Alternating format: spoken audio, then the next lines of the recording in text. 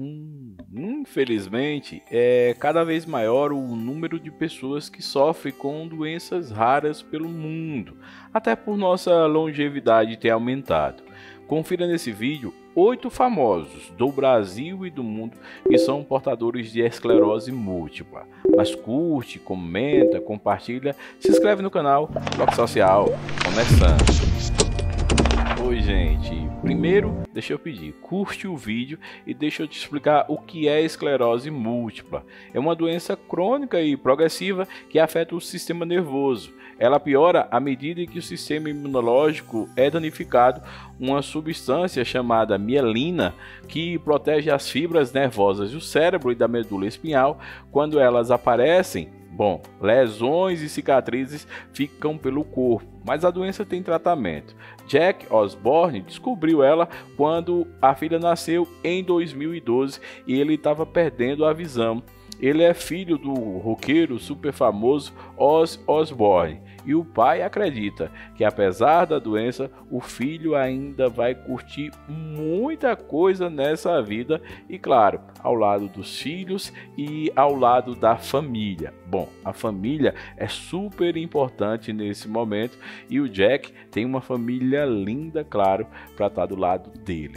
A nossa lista segue e eu vou te perguntar: já curtiu a série Família Soprano? Pois é, é um grande sucesso da Netflix e das plataformas de séries. E nela tem a atriz Jamelyn Single. Ela foi diagnosticada com esclerose múltipla aos 20 anos de idade. Segundo ela, não foi nada fácil mas somente agora, depois dos 30 anos de idade, é que ela veio contar, revelar para o público que sofre dessa doença. A atriz afirmou que viveu por muito tempo em negação. Ela não queria acreditar ou aceitar que sofria de esclerose. Ela tinha dificuldades na fala e também no toque. Mesmo assim, preferiu viver. Tem também nessa nossa lista Selma Blair. Em agosto de 2018, a atriz revelou que foi oficialmente diagnosticada com esclerose múltipla em um post do Instagram. Na ocasião, ela que é super conhecida por séries e filmes, dividiu com os seguidores que estava sofrendo com sintomas por muitos anos. Estou com fraqueza, às vezes eu caio e deixo as coisas caírem. Minha memória é nebulosa e meu lado esquerdo está sem direção como um GPS quebrado, disse ela mas estamos seguindo e eu, como um rio, sei onde quero e vou chegar, vou sim vencer apesar dessa doença. Tem também nessa nossa lista outra grande atriz. Você já ouviu falar na série Diz que Amiga para Matar? Ou Onde está Samantha? Pois é, um grande nome do cinema, Christina Applegate, em agosto de 2021, revelou aos 49 anos de idade que foi diagnosticada com esclerose múltipla. A notícia teve uma grande repercussão nas redes sociais, justamente por ser um mês da conscientização sobre a doença. Na ocasião, ela disse que vive uma estranha jornada, mas que quando recebeu o apoio das pessoas com a mesma condição, o caminho ficou mais fácil. Segundo ela, a vida segue. A estrada sempre segue e a gente sempre vai ter uma batalha, uma coisa para correr atrás, e é assim eu acredito. Eu tenho que ter força por mim e por minha família. Vou vencer e vou viver muito, disse ela, uma grande estrela do cinema. Chegamos então às estrelas nacionais da TV brasileira e a gente começa por Ana Beatriz Nogueira, atriz de Caminho das Índias, de Por Amor, de Pecado Capital e de vários grandes sucessos da TV Globo. Em 2009, Ana foi diagnosticada com uma forma branda de esclerose múltipla. A confirmação aconteceu no meio das gravações de Caminho das Índias, enquanto ela tentava trabalhar, tentava atuar, ela sentiu que o comportamento de suas mãos e também a direção estava um pouco diferente. Ana, durante muitos anos, não contou para o público que sofria dessa doença, mas em 2021 ela achou que era a hora, uma hora importante, de revelar e receber o apoio de muita gente dentro e fora da TV. A gente chega a Cláudia Rodrigues, uma das maiores humoristas, atrizes, que, claro, muita gente ama nesse país.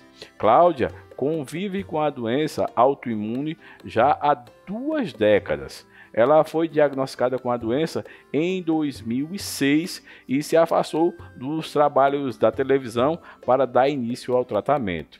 A atriz e humorista, que ficou conhecida por seu papel no seriado A Diarista, também se submeteu a um transplante nos Estados Unidos. Até hoje, ela é um grande exemplo para muita gente, não só que sofre de esclerose múltipla, como sofre de outras doenças. É sempre bom ver a alegria da Cláudia Rodrigues, ela que se casou com a sua ex-empresária recentemente e está muito, mas muito feliz. Olha só, lembra da grande família? Claro. Guta Stresser deu vida a ninguém menos que Bebel durante 14 anos no seriado da TV Globo. Já aos 49 anos de idade, durante as gravações do Dança dos Famosos, na época Domingão do Faustão em 2020, ela buscou ajuda médica para saber de algumas coisas que estavam acontecendo com seu corpo.